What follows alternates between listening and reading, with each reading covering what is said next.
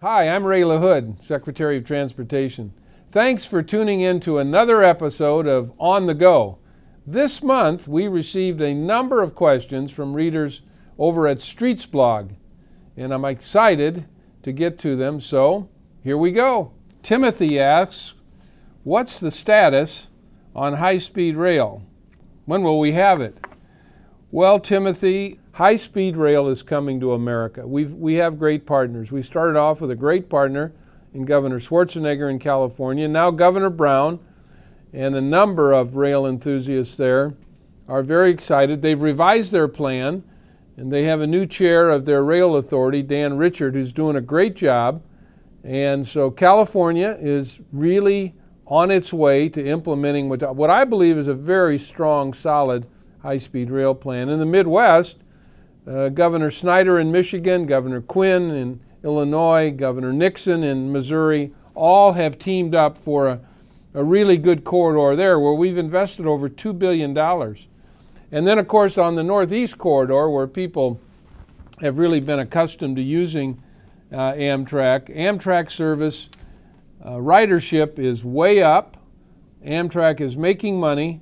And we believe the investments we have made there uh, to fix up some of the equipment, to allow Amtrak to buy new equipment, new cars, uh, will really continue to improve service. People in America are very excited about opportunities for passenger rail, and we are too. It's a very good vision the President has. The vision really means that over the next 25 years, we connect 80% of the country with passenger rail. It's a great vision. We've put out an enormous amount of money, and we will continue to work with our partners to implement passenger rail. Passenger rail is coming to America, and we're grateful to President Obama for his vision about this. Colin writes, when will DOT provide options to cities that want livable communities? Well, I'm very pleased uh, that I was just in Dubuque, Iowa, where one of our very first Tiger grants, three years ago, we invested $5.2 million, which leveraged another 200,000, excuse me, $200 million was leveraged with the 5.2 million, and they've completely redone, completely changed the millwork area of Dubuque. IBM believed that Dubuque was one of the most livable cities in America and they brought 1,500 people, renovated and renewed a huge uh, old department store in downtown Dubuque.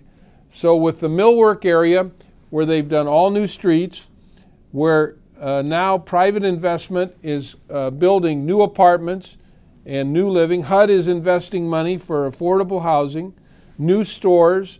The whole arts community will be located in the warehouse district and so, with a $5.2 million investment that leveraged another 200 million plus IBM's investment, we've transformed uh, the community of Dubuque has transformed its downtown. That is a clear example of a livable, sustainable community where you change the streetscape, where you bring in affordable housing money, where you bring in private money and make investments, and we're going to use Dubuque as a model. There are other communities too where we've made investments. The Tiger program has really helped us implement with our partners in communities the ability to leverage private money, to leverage other public money, to leverage some of our money here through the Tiger program to create livable and sustainable communities. We've implemented streetcar programs, light rail programs, uh, bus rapid transit programs, affordable housing. We've had great partnerships with our colleagues at HUD and EPA. So, again, we're on our way. Streetsman writes in Are you now or have you considered partnering on major programs targeted at increasing walking and cycling or making conditions to do so safer? Well, we are very proud to have participated here in Washington, D.C. in the bike share program, the inauguration of it with former Mayor Fenty and others uh, by actually uh, riding the streets and using the, the, the lanes that have been uh, implemented in Washington, D.C. We did it in Denver within uh, Mayor John Hickenlooper, who's now the governor of Colorado. Uh, he inaugurated a very, very significant bike share program, and we were out there and rode with the governor, then mayor, and uh, helped inaugurate that. We're working with the city of Chicago and their dreams to implement a very strong bike share program. We believe these bike share programs are very important for communities uh, to allow for uh, the opportunity for people to have all kinds of forms of transportation. We know that people love to bike. We have also invested in uh, rails to trails. We've invested in biking and walking paths. We believe this really enhances communities' ability to offer people the kind of amenities, the kind of opportunities for walking, for riding. And uh, so, bike share coupled with rails to trails, coupled with money for walking and biking paths, uh, really helping communities uh, carry out uh, their plans. Kilmoto asks To what extent will driverless cars and vehicle to vehicle systems help reduce deaths on our roadways?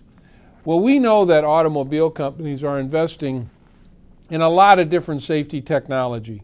We know that vehicle to vehicle opportunities can prevent uh, crashes, can prevent uh, injuries, can prevent people from uh, running into one another. Uh, we are uh, pleased with what the car manufacturers are doing in terms of the safety technology they're putting in cars uh, so that people can drive safer. Uh, with respect to your question about driverless uh, cars, uh, we're just uh, we're just starting to, to look into that. We don't have much research on it. We want to make sure that as this kind of technology moves forward, that we're intimately involved so that we can continue to promote the safest uh, driving possible. But uh, we, we appreciate what the car manufacturers are doing in terms of the safety technology they're putting in, in place.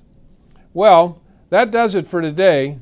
Thanks for all the questions, especially from our friends at Streets Blog. And keep writing in on Fastlane, Facebook, and Twitter. Until the next time, be safe.